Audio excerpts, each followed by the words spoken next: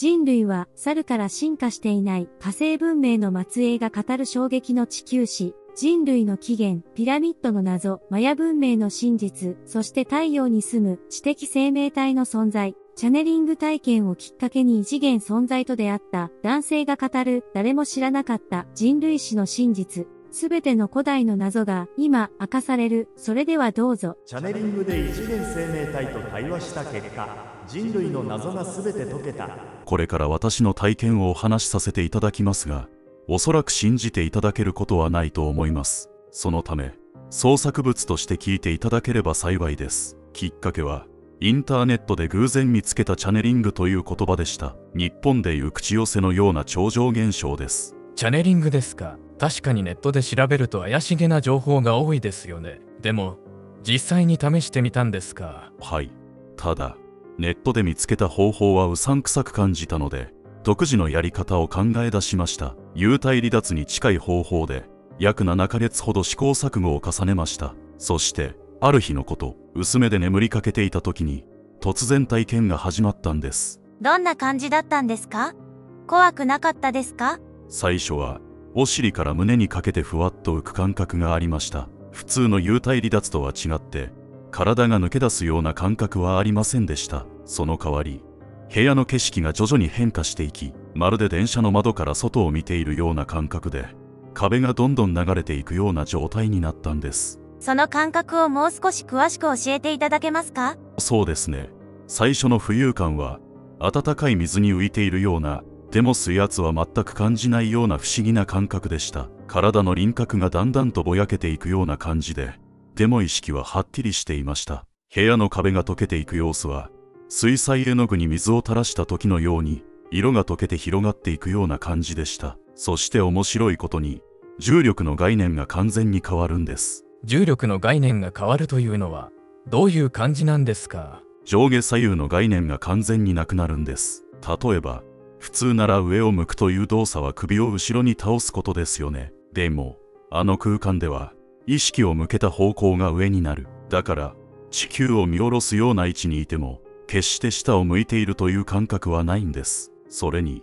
移動する時も面白くて、行きたい方向を思い浮かべると、まるで引き寄せられるように自然と移動できます。ただし、その時の速度感覚も独特で、とてつもない速さで移動しているはずなのに、全く目が回らないんです宇宙空間にいる時は周りはどんな風に見えたんですか？明晰夢のような状態だったんでしょうか最初は私もそう思いましたでも部屋の壁が消えて周りが絵の具を混ぜ合わせたようなカラフルな空間に変わった時これは明晰夢とは違う何かだと直感的に感じたんですその瞬間今まで経験したことのない恐怖が襲ってきましたそんな異次元のような空間に一人でいたなんて私だったら気が気じゃなかったでしょうね。本当にそうでした。もう起きたいと泣きながら叫んでいました。すると、体が何かに引っ張られる感覚がありました。ただ、上下左右のどの方向に引っ張られているのかは全くわかりませんでした。怖くて手足をバタバタさせながら、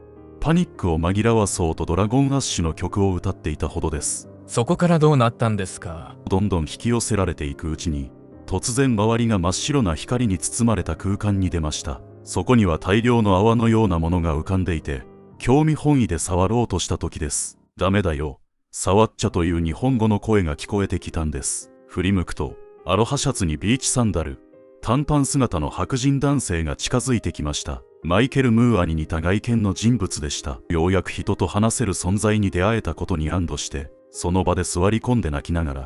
ああふうと声を漏らしてしまいました。すると、その人物も横に座ってどうやってここに来たのを、と尋ねてきたんです。その人物とは日本語で会話ができたんですね。で、どう答えたんですか？私は幽体離脱という遊びをやっていたら、こんなことになりましたと説明しました。すると、その人は急に焦ったような表情を見せて、これを夢だと思ってるのかよ。危ないことするなよ。と強い口調で言ってきました。私が嫌。明晰夢なのは分かってるんですけど、起き方が分からないんですと答えると、さらに声を荒げて夢じゃないって言ってるでしょう。と返されました。え？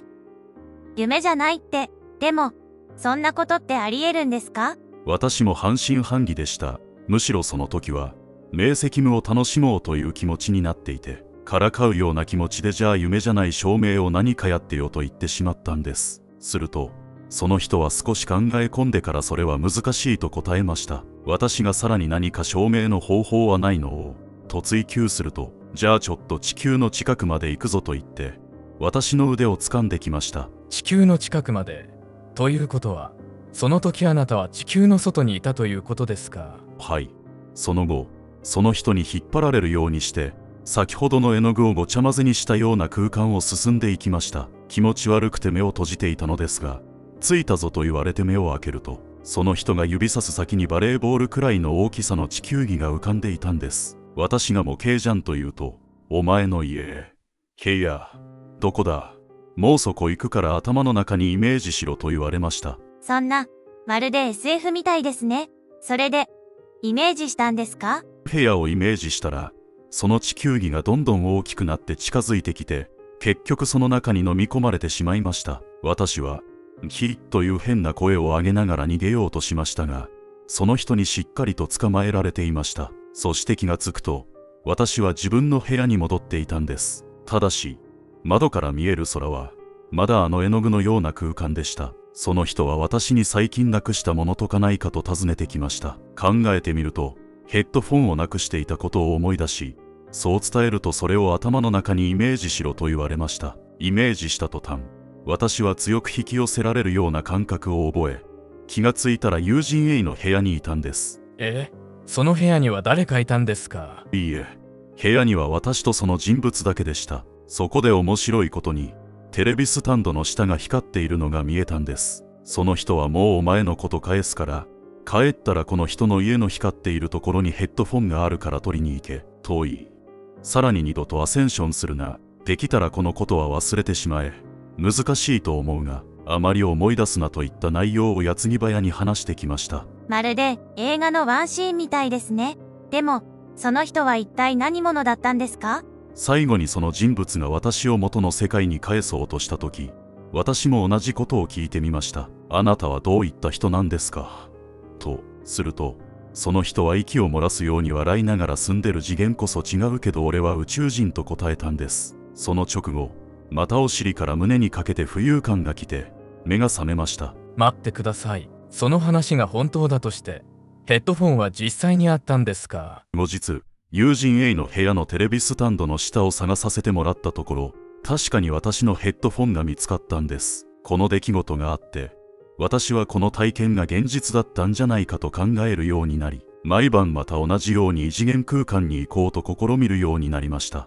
そして、また行けたんですね。約1週間ほど試していたある時突然また絵の具空間に出ていました。ただし今回は前回のような恐怖心はなくむしろ落ち着いて周りを観察することができました。よく見るとすぐ後ろには地球があり同じくバレーボールほどの大きさの火星や金星らしきものも見えました。他にもバレーボールくらいの大きさの天体がそこら中に浮いていてただし実際の宇宙の天体の位置関係とは違うように感じました。そこでまた誰かに会ったんですか？ある天体を囲みながら談笑している3人組の男性たちを見つけたんです。全員が先ほどのマイケル・ムー兄の男性でした私が「こんにちは」と声をかけると3人は驚いた様子で「マジかよなんでアクアツホがいるのやばいんじゃないか」といった感じで焦りながら話していました。赤穂って何ですか？私もその時は分からなかったので僕っていたらまずいんですかと軽い調子で聞いてみました。するとそりゃまあお互い得はないんじゃといった返事が返ってきました。そこで思い切ってマイケル・ムー兄の彼らは一体何者なのかを尋ねてみたんですすると逆にお前こそ誰だと聞かれたので地球人ですと答えました。彼らの反応はどうでしたか？最初は悪圧法じゃないんだと言ってどうやら私のことを誤解していたようでした。何ですかそれと聞くと火星を指さしてここに生きてた生物だと説明してくれました。私が驚きを隠せずにいると彼らは君たちと俺たちは距離とか大小とか時間とかそういった世の中のルールが違っているけどお互い同じ宇宙の宇宙人というさらに驚くべき説明をしてくれました。まさか火星に本当に生命が存在していたなんて。でも、なぜ言葉が通じたんですか？その疑問も私から質問してみました。するとお互いにお互いが馴染み深いコミュニケーションの仕方をとってるように見える仕組みになってると説明してくれました。容姿についても同様で私がマイケル・ムーアに親しみを感じるからそのように見えているとのことでした。ではその空間自体は一体何だったんですか？彼らによるとそれは距離や時間といったルールの上にある宇宙で私たちでいうところのワープ装置のような場所だそうです。また私が彼らの星を地球から見つけることは難しいのかと尋ねると地球の望遠鏡による観測方法について質問してきました。そしてレンズとかそういうもので拡大して見ている限りはお互いに見つけられないと説明してくれたんです。さらに興味深いことに昔の地球人はそれとは別の方法で天体を観測していたとも話していました。その後私は火星についてもっと詳しく聞いてみました。3人のうちの1人スーツを着たマイケル・ムーアニの人物が答えてくれました。ただしジンベイを着ていた別の一人はあまりそういう話はしない方がいいんじゃないかと警戒していましたね。火星にはどんな生命体が存在していたんですか？彼らの説明によると火星には地球と同じ次元のルールに従う生命体が確実に存在していてしかも様々な種類がいたそうです。その中には地球的に有知的生命体も存在していました。さらに興味深いことにその当時太陽系で生命体が存在していたのは太陽と地球だけだったとのことでした。待ってください。太陽に生命体。そんなことがありえるんですか？私も同じように思い太陽について質問してみました彼らは私を太陽まで連れて行ってくれました。そこでも同じくバレーボールほどの大きさの緑の球体を指さしていました。燃えてないんだと私が言うと燃えてるのは表面というか君たちの感覚でいうところの表面だけと説明されました。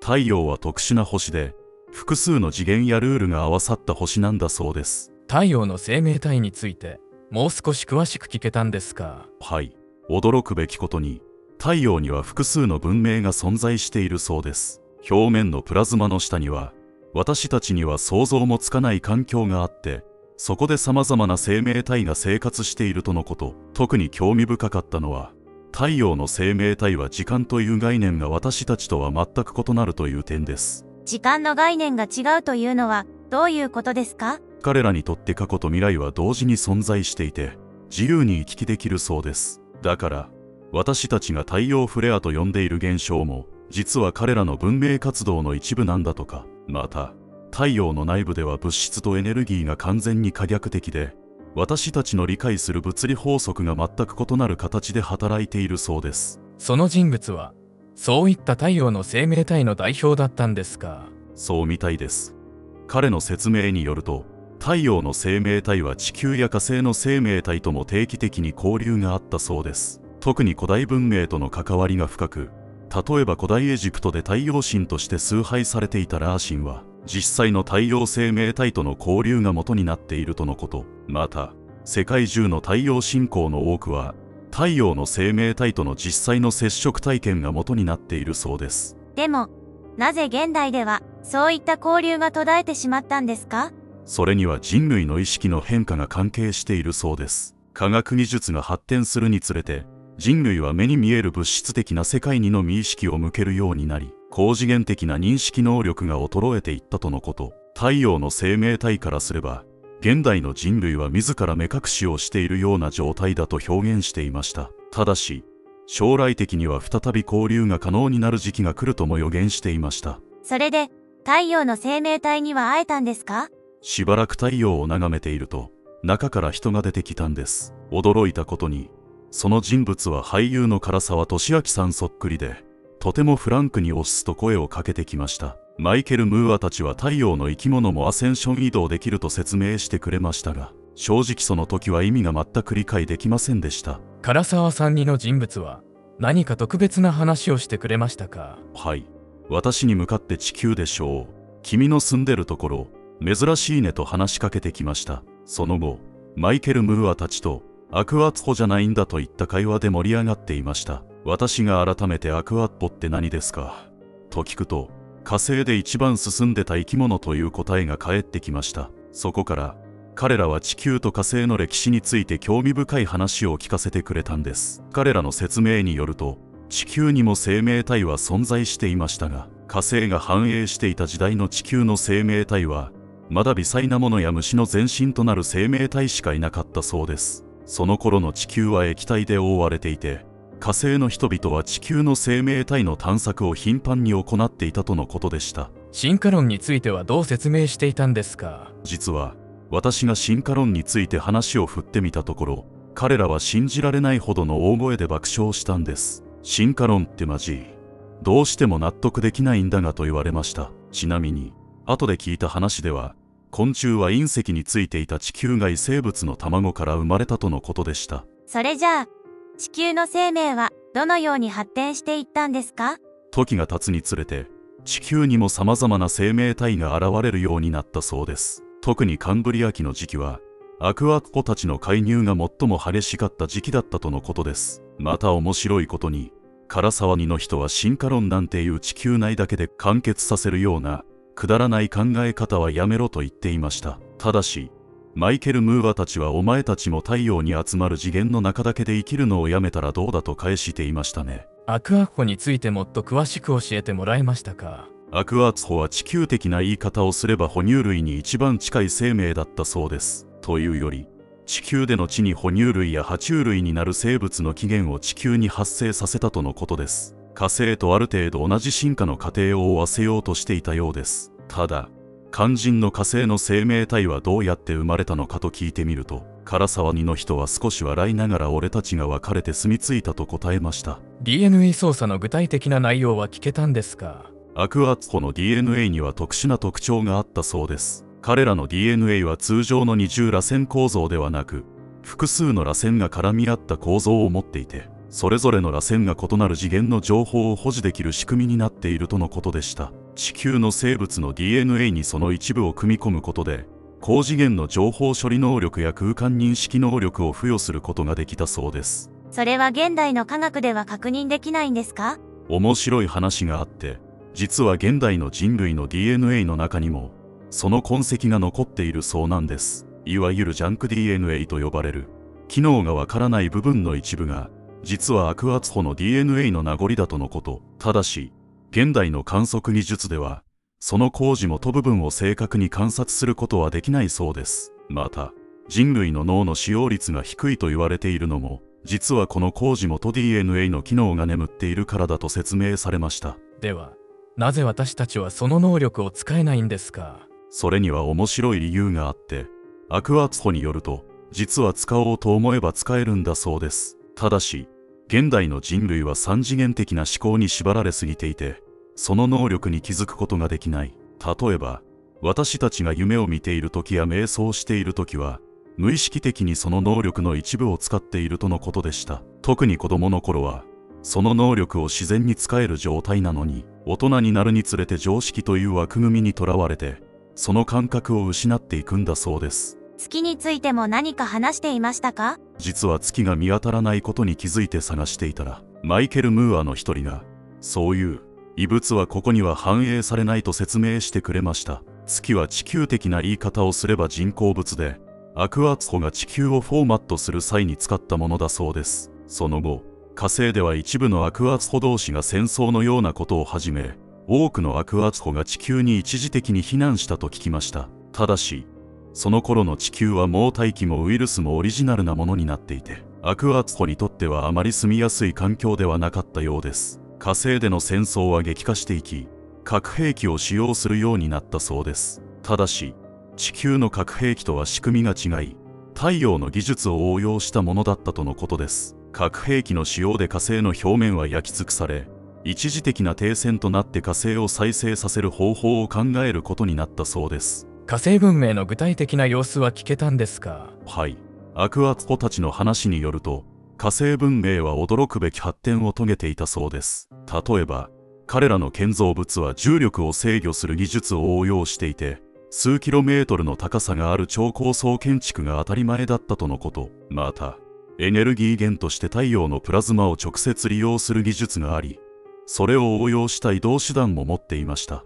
戦争の原因は何だったんですか？主に2つの派閥に分かれての戦いだったそうです。一方は火星の資源を最大限に活用してさらなる発展を目指す派閥でもう一方は自然との調和を重視する派閥。両者の対立が徐々に深まりついには全面戦争へと発展したとのことです。使用された兵器も凄まじかったようで例えば重力場そのものを歪める爆弾がありこれに被弾すると周囲の空間が歪んで建物がまるでゴムのように曲がってしまうそうです。火星の環境はどのように破壊されていったんですか？段階的に進んでいったそうです。最初は大気中の特殊な物質を標的にした兵器が使用されそれによって火星の磁場が弱まっていきました。磁場が弱まると太陽風から受ける影響が強くなり大気が徐々に宇宙空間に流出していったとのこと。さらに両派閥が使用した様々な兵器によって地表の生態系が次々と破壊されていきました。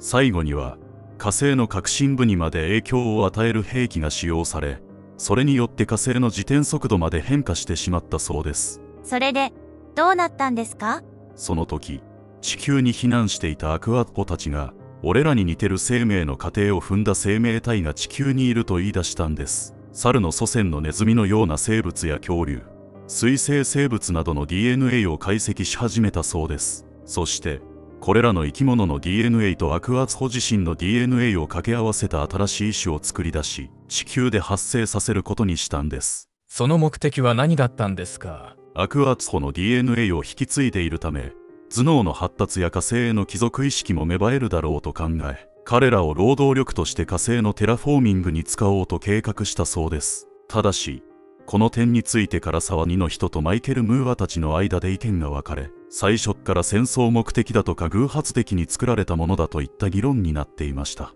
それで人類が誕生したということですか？ただし人類には4種類いたそうです。まず身長が2メートル半以上あるトカゲ顔の人類でこれがアクアツホに一番近かったとのこと。次に猿の祖先の特性が強く出た人類が2種類。そして二足歩行する猿のような人類現在の博物館などにあるルーシーのような姿の人類です。これら4種類はそれぞれ別のアクアツホの勢力が作り出したものだったそうです。その4種類の人類はその後どうなったんですか？巨人のような人類はアクアツホたちによってすぐに保護され火星の再生のためのサポーターとして連れて行かれたそうです。ところがそのアクアツホたちは気が変わったのか別の星に移住してしまったとのことです二足歩行するだけの猿のような種はその後あまり知的な進化をせずそのまま猿として繁栄したそうです。チンパンジーに最も似ていたけれどチンパンジーではなく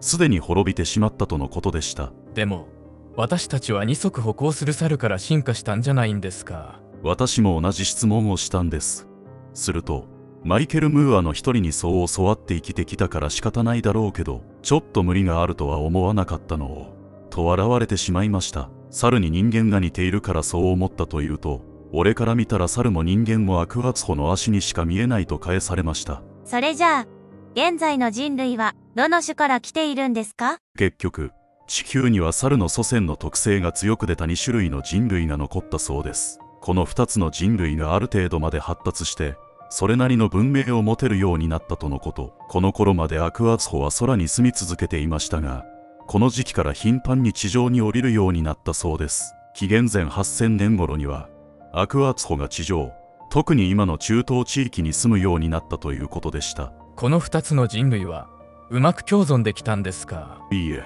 この2つの人類はあまり友好的ではなかったそうです。次第に戦争が起きるようになりアクアツホはどうやって統率を取るか頭を悩ませていたとのことです。ちなみにそれまでアクアツホが乗っていた母船は地上に下ろされていましたがあまりに巨大で山のように見えたそうです。その戦争はどうなったんですか？紀元前7000年になっても2つの人類の争いは終わらずアクアツホが介入するようになったそうです。当初は争いを止めさせて火星の再生作業を早く始めたかったようですが介入していくうちにアクアツホ自体も2つの勢力に分かれてしまい紀元前6000年頃にはアクアツホを後ろ盾にした2種類の人類による戦争状態になってしまったそうです。興味深いことにこの頃の人類はすでに地球の全体地図を描けたり化学反応を理解できるほどに発展していたとのことでした。その戦争はかなり高度なものだったんですか？アクアツホの介入後戦争は一気に近代化し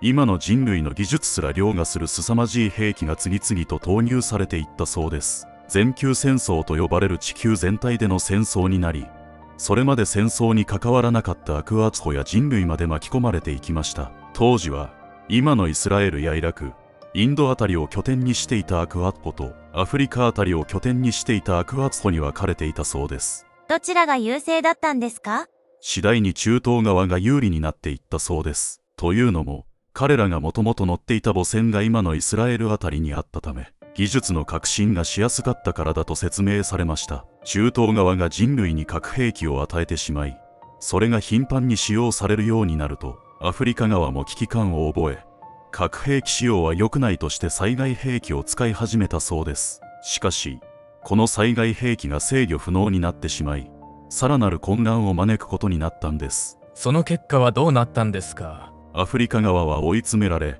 最後の手段として水を爆発的に増やせる太陽の技術を使った兵器を使用したそうです。その仕組みについても説明されたのですが申し訳ありません。私の頭では理解できませんでした。中東側のアクアツホは地球に残る唯一のアクアツホとなり彼らについていた人類ももう一方の人類を世界中で狩り始めたそうです。しかしアフリカ側が起動した洪水兵器の存在に気づいていなかったんです。紀元前5000年になってようやくこの兵器の存在に気づいたそうです。その頃になると地球の状況は深刻でした。大規模な津波が発生し人類どころか地上の生命体が住めるエリアが極端に少なくなってしまったにもかかわらずアクアッポたちは自分たちの母船で一旦空に逃げてしまったそうです。私がノアの箱舟の話を持ち出すと彼らは笑いながら確かに少ないが地上の生き物も乗せてただろう。でも地球は水が多いから過去何回も大洪水は起きているから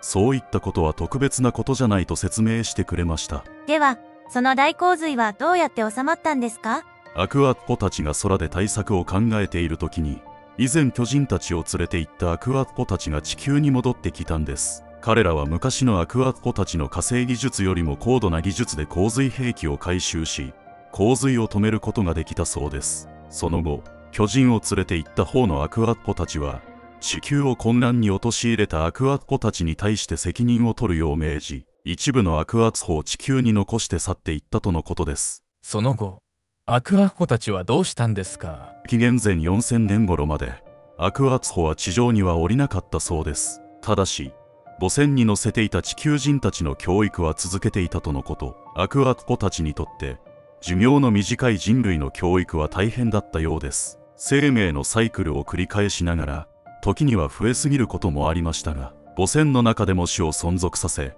子孫に知識を伝え続けていたそうです。その教育を受けた人々は、その後どうなったんですか？アクアポたちはこの人々を見て地上に下ろして技術を伝えさせれば人類は一気に発展するし火星再生計画も早まるんじゃないかと考えたそうです。一方地上で大洪水を生き延びた人々は失われた高度な技術を何とか再興しようとしていました。見よう見まねではありましたが農耕や建築の技術を培っていったとのこと。アロハを着ていたマイケル・ムーアニの人物によるとこれもアクアツホの DNA の影響だったそうです。紀元前4000年母船にいた人類が地上に降りてきたんですがこの時アクアツホは自分たちの知識は与えましたが道具類はほとんど与えなかったそうです。以前人類に核兵器を使わせて大変なことになった経験があったからだと説明されました。その知識を持った人々がいわゆるシュメール文明を築いたということですか。はい。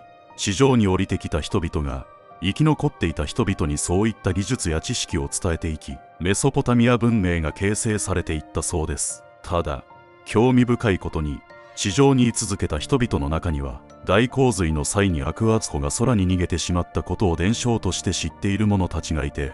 彼らが後にシュメール人を征服することになります。おそらくアッカド人のことだと思います。ここまでの話を聞いて、私たちの知っている歴史とはかなり違う印象を受けますね。そうですね。この話を聞いた後私は疲れを感じ始めていたんです。するとマイケル・ムーアがそろそろ帰って眠っておけと言ってきました唐沢にの人もここまで話してこういうのもなんだけどあんまりここに来るのは良くないと助言してくれました。私が地球人でここに来たのは私が初めてなんですか。と聞くと地球からは前からちょくちょく来てるという返事でした。その後も行けたんですか。目覚めてすぐにそういった話の痕跡がないかネットで調べてみましたが見つかった情報はどれもうさんくさく感じました。でもまたあの絵の具空間に行こうと決意しいくつかの質問を考えておくことにしました。特にナスカの地上絵やマヤ文明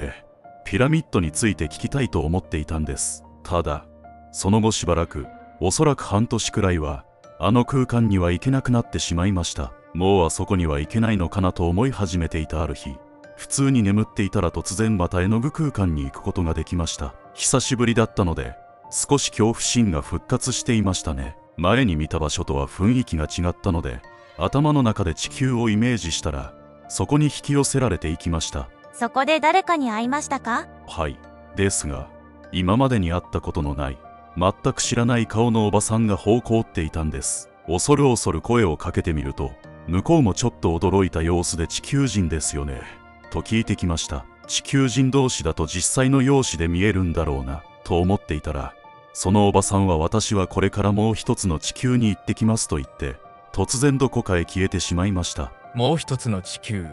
それは何なんでしょうか？その疑問を持った矢先おい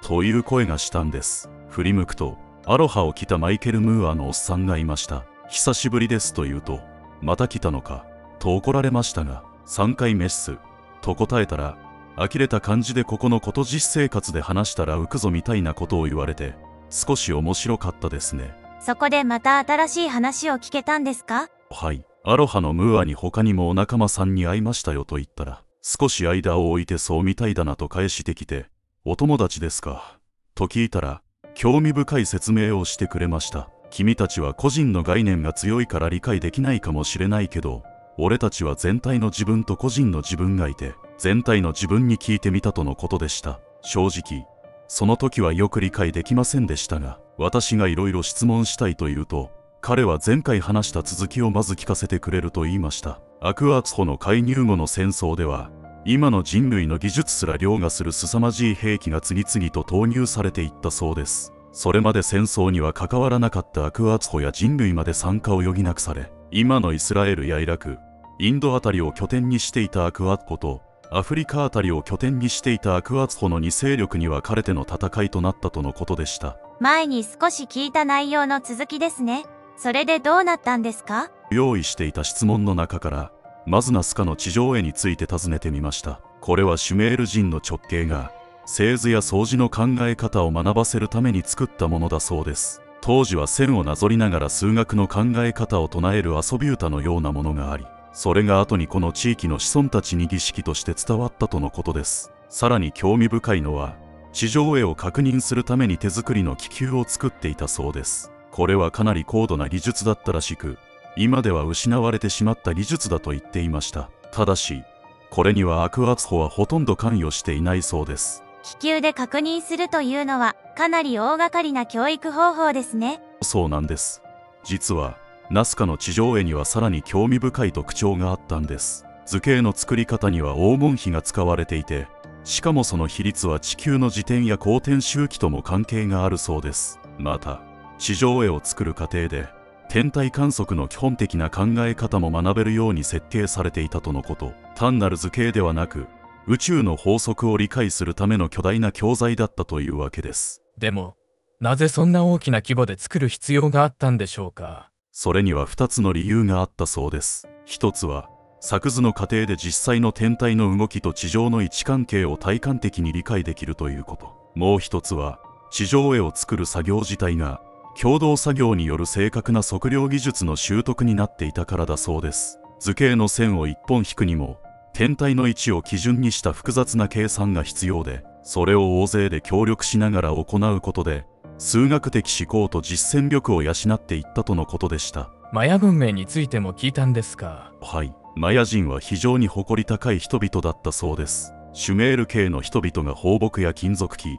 車輪の技術を持っていってもそれらを受け入れず使わなかったとのこと人力至上主義だったそうです。ただし頭脳は非常に優れていて建築方法なども独自に編み出していったそうです。アクアツホはマヤ人に何かアクアツホの DNA の特徴が強く出ているのではないかと考え彼らに数学を教えたところゼロを発見し天体の動きを完全に演算できるようになるなど驚くべき発展を遂げたそうです。アクアツホはマヤ人を気に入って今では人類に伝わっていない天体の観測方法なども教えていったそうです。そしてもう宇宙に行こうと言って宇宙に行きたいマヤ人たちを第二のシュメール人として連れて行ったとのこと。ただし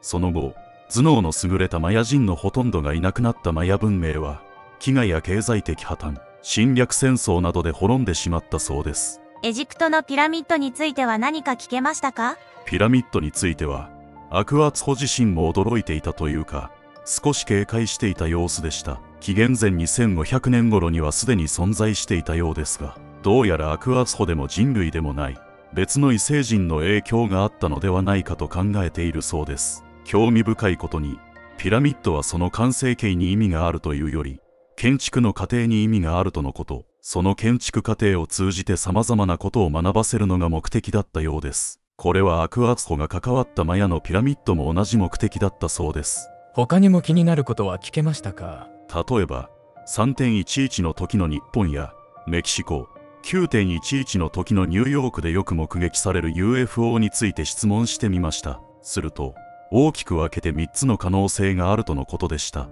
1つ目は異星人。2つ目は別の次元の同じ星に住む人の乗り物。3つ目はその星の秘密の乗り物だそうです。地球の場合最も現実的なのは3つ目の可能性だと言っていました。シュメールの知識。つまりアクアツホの知識を受け継いだ人類が再現を試みて作ったものではないかと。興味深いことに災害時に UFO が現れるのではなく UFO が現れてから災害が起きていないか調べてみろとも言われました。最後に何か印象に残る出来事はありましたか？その後もう一度だけ絵の具空間に行くことができたんです。その時は別の銀河の異星人が声優の竹立綾菜さんの姿で現れて私は興奮のあまり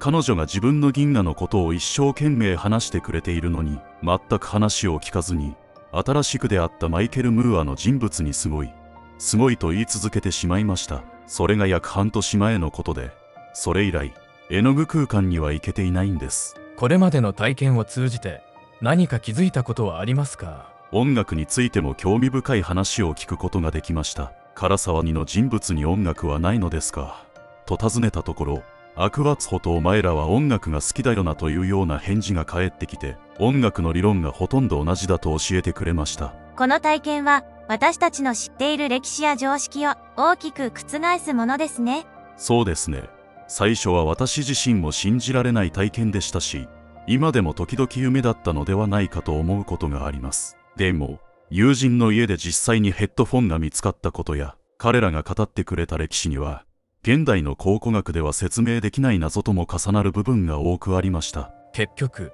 アクアホたちは今どうしているんでしょうか？彼らの話によると宇宙開発が始まり宇宙への関心が高まるとともにアクアツホは人類との接触を控えるようになったそうです。最近は地球から一旦離れて以前巨人を連れて行った仲間たちと合流して何かの準備をしているとのことでした。具体的に何を準備しているのかまでは聞けませんでしたがおそらく火星の再生に関することかもしれません。また会える可能性はあるんですか？それは私にもわかりません。ただアロハを着ていたマイケル・ムーアニの人物が言っていたようにこの体験を話すと確かに変な目で見られるかもしれません。でもこの体験を通じて私たちの知っている世界はまだまだ表面的なものに過ぎないのかもしれないと感じています。最後までご視聴ありがとうございます。チャンネル登録お願いします。